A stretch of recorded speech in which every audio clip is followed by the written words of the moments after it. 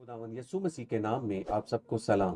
अजीजो, Bible हमें सिखाती है कि रोजा रखना ना तो खुदा के फजल का और ना ही फिर दोस्त में किसी मुकाम का मुस्तहिक बनाता है। मसीही जैल में बयान करदा, किसी एक मकसद के लिए रोजा रख सकते हैं। खुदावन में इतमान के इजहार के लिए मत्ती चार बाब चार आयत। खुदावन के हजूर आजी और इनकसारी इख्तियार करने के लिए दानियल नौ बाब तीन आयत। खुदा से मदद की दरख्वास्त के लिए दो सैमुअल बारह बाब सोलह आयत। आस्तर चार बाब सोलह आयत। इजरा आठ बाब तेईस आयत। खुदा की मर्ज़ी मालूम करने के लिए अमाल तेरह बाब दो तीन आयात। गुनाहों से तोबा करने के लिए यूना तीन बाब पाँच ता दस आयात। खुदावन की इबादत में मुकम्मल तौर पर मगन होने के लिए लूका दो बाब छत्तीस ता अठतीस आयात मुकदसा यस्सु ने भी रोजा रखा था। इससे पहले कि यस्सु लोगों में अपनी खिदमत का आगाज़ करता, अजीम मोजात करता और लोगों को तालीम देता उसने चालीस दिन रात का रोजा रखा।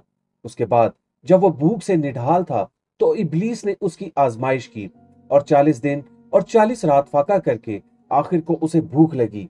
फिर इबलीस उसे एक बहुत ऊँचे पहाड़ पर ले गया और दुनिया की सब सल्तनतें और उनकी शान शौकत उसे दिखाई और उसे कहा, अगर तू झुक कर मुझे सिजदा करे तो ये सब कुछ तुझे दे दूँगा।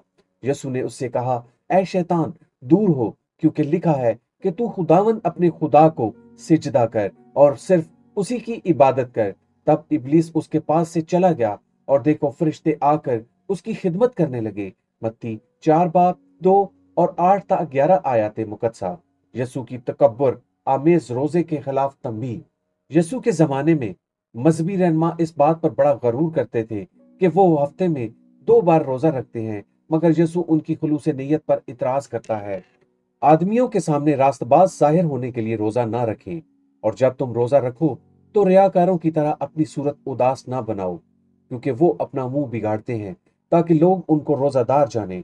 मैं तुमसे सच कहता हूँ कि वो अपना अजर पा चुके, बल्कि जब तू रोजा रखे तो अपने सर में तेल डाल और मुँह धो, ताकि आदमी नहीं, बल्कि तेरा बाप, जो पोशीदगी में है, तुझे रोजादार जाने।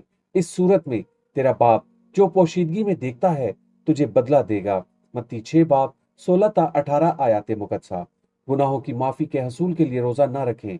फरीसी, यहूदी मज़हब के एक अहम फिरके से ताल्लुक रखने वाला शख्स होता है। फरीसी खड़ा होकर अपने जी में यूँ दुआ करने लगा कि, ए खुदावन मैं तेरा शुक्र अदा करता हूँ कि बाकी आदमियों की तरह जालिम बे इंसाफ जनाकार या इस मासूल लेने वाले की मानद नहीं हूँ। मैं हफ़्ता में दो बार रोजा रखता हूँ और अपनी सारी आमदनी पर दा यकी देता हूँ, लेकिन मासूल लेने वाले ने दूर खड़े होकर इतना भी न चाहा कि आसमान की तरफ़ आँख उठाए, बल्कि छाती पीट पीट कर कहा, ऐ खुदा, मुझ गुनागार पर रहम कर।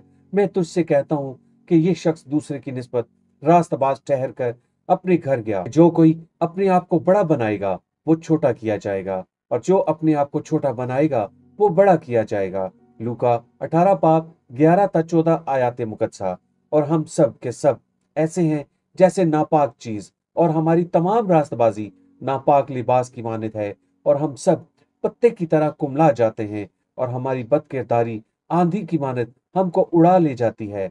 यसाया चौसठ पाक छह आयात। यस्सु की तरफ़ से रोज़े के मफहूम में इजाफा।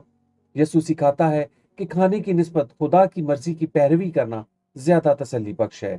इतने में उसके शागिर्द उससे ये दरख्वास्त करने लगे कि ए रबी कुछ खा ले। लेकिन उसने उनसे कहा, मेरे पास खाने के लिए ऐसा खाना है जिसे तुम नहीं जानते। बस शागिर्दों ने आपस में कहा, क्या कोई उसके लिए कुछ खाने को लाया है?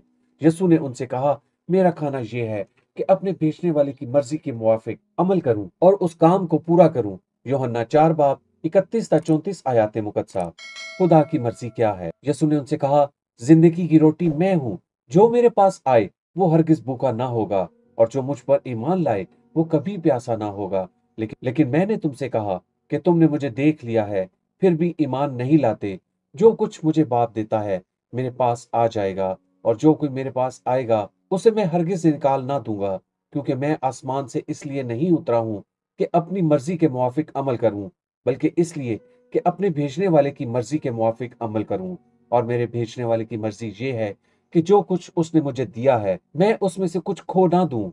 बल, बल्कि उसे आखिरी दिन फिर ज़िंदा करूँ क्योंकि मेरे बाप की मर्ज़ी ये है कि जो कोई बेटे को देखे और उस पर ईमान लाए हमेशा की ज़िंदगी पाए और मैं उसे आखिरी दिन फिर ज़िंदा करूँगा।